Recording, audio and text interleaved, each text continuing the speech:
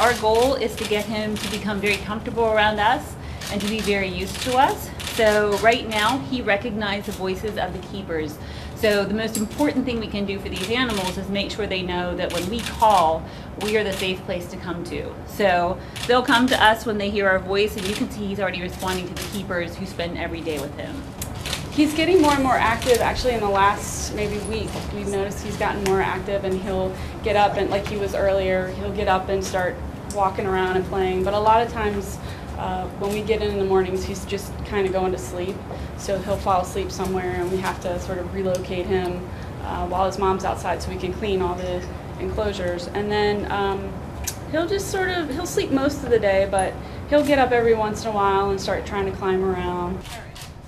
I'm trying to see if he's got any how many teeth. You gonna let me do it? No. We look for the same milestones that any parent would look for, making sure that he, his, his, when his eyes open, his teeth come in, his vocalizations, his movement. He's essentially at the crawling phase right now, where he's starting to be really mobile, working his way around his enclosure.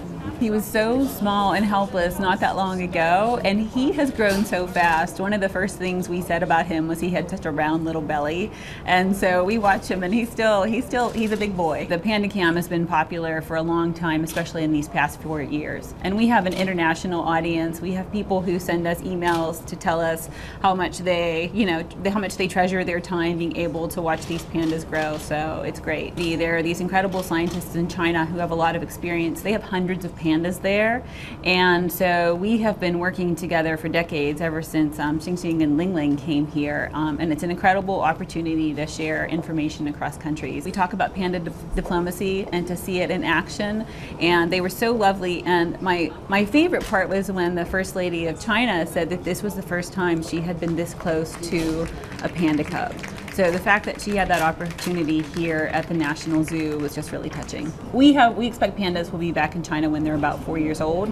That's a good age for them to leave here and go there and get ready to be part of the breeding program. And so um, we're just we're starting to prepare him for that life from the moment he's born. A picture really does tell a thousand words. I think anything this beautiful and this precious, people see giant pandas, they see giant panda cubs, and they want to conserve them. They know it's important because they don't they don't want a life without these. They don't want a planet without these animals on them.